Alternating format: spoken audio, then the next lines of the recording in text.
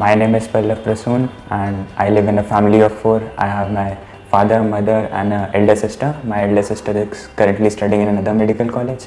My father and mother are government teachers. Actually once I was three and my uh, this thumb finger was cut off and that's when my mother decided that one day she'll make me a doctor so that I can treat other in such situations. ANTHE is the scholarship exam for admission in Aakash. I myself has received 100% scholarship which removes the financial burden of studying in such a prestigious institute. If you have read NCERT thoroughly, there is surety that you will score above 600 and the some tips can be use the extra space on the sides of NCERT to marks just points beyond NCERT just so that you can attempt MCQs, extra MCQs with them. The last month strategy was crystal clear to me. Attempt as many mock tests as you possibly can. Aakash offers a series called Final Test Series. This is very essential for your NEET exam.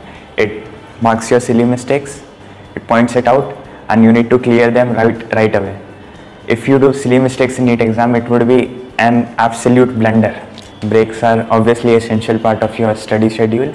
Breaks are needed to calm your mind and most people refer to their uh, mobile phones for uh, rest.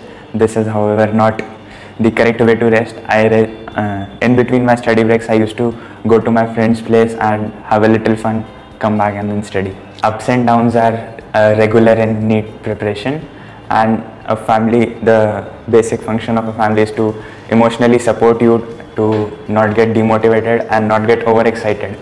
My lowest point was uh, about the uh, mid of 11th, where I could only score like 6, 660, 670 and stuff like that.